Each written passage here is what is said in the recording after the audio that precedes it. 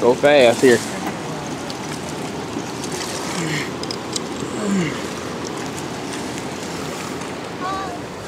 There it go. Where's that um there you go. Hey um Where's that? get that food I got there with you.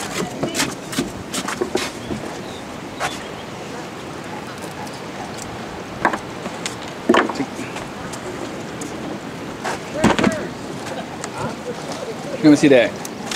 This cooler is basically filled up now. Here you go. Go ahead, put them in there.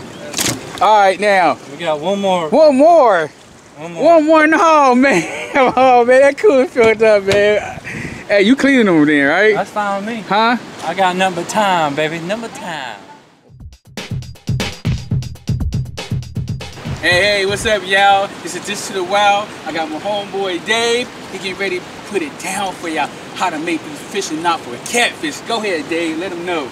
Alright, so what I'm gonna do is show you how I make my catfish leader. A lot of people have their different ways of doing it. A lot of people use three-way swivels. Um, they, a lot of people have their own secret ways. And fishing a particular body of water where we are today, I, I've fished like this for years and years, for God knows how long I can recall. Uh, it's been very effective for me. It has worked. And uh, so I'm going to just show you how I make mine and maybe you will have success too along the way. First I start out with a 50 pound test monofilament leader, about arm's length apart. What I have is a 100 pound test barrel swivel. Now I tie that to my, uh, my leader line and I just tie a simple fisherman's knot. You can uh, go online and look it up. Uh, you can get it in your local tackle stores, uh, uh, how to make your knots.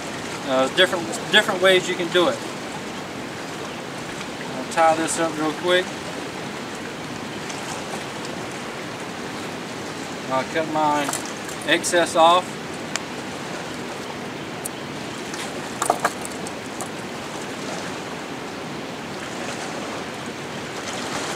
And now what I do is I come down about you know 12 inches or so from the bottom of your barrel swivel.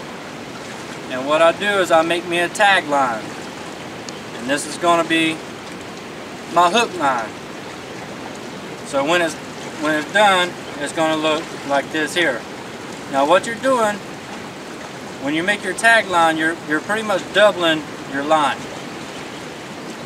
So what you want to do with this is, is come down and make a simple overhand knot or make your loop and and take your take your tag line and feed through that loop about five times.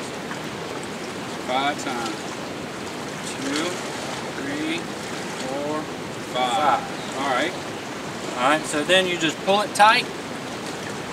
You have your hook line and this makes it to where you can change your hooks as needed and you just pinch that tag line and feed it through the eye of the hook.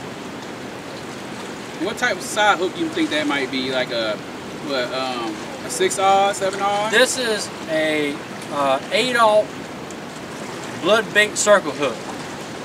Uh, people have their theories, but they have worked for me. They, you know, the red hooks, fish tend to think that your bait is bleeding, pretty much, or it's wounded.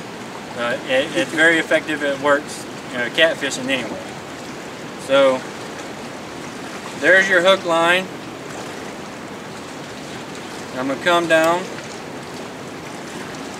and just on your weight I just tie a simple overhand knot so that way if you get hung up on the bottom or what have you you know you can break off your weight I, I think I'd rather break a weight than to lose my line or lose my hook or fish or or anything else So it's all basically a breakaway.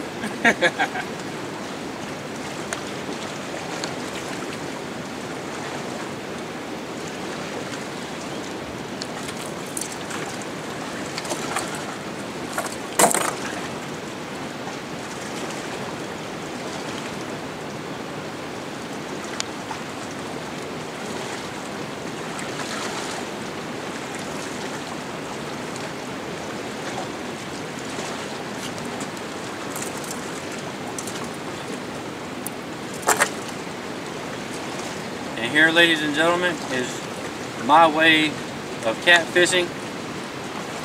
This way, your, your bait is up in the current line and your weight is on the bottom so you're not technically weighting your bait to the bottom.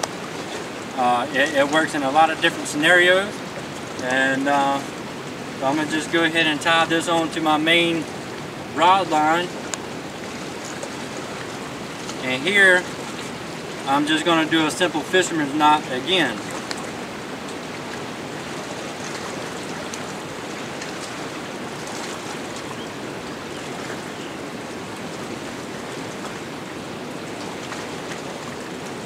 And like I said, you got to get this off the internet, the fisherman knot. Go on the internet, you got a lot of knots, different knots you can do, but this is the way what we do for catfishing.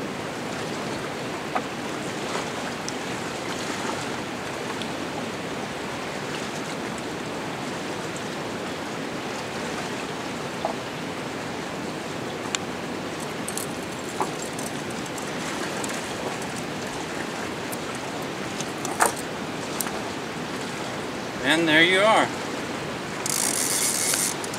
And right there is, where is it at? Right there. And that's how we, we got it rigged up here.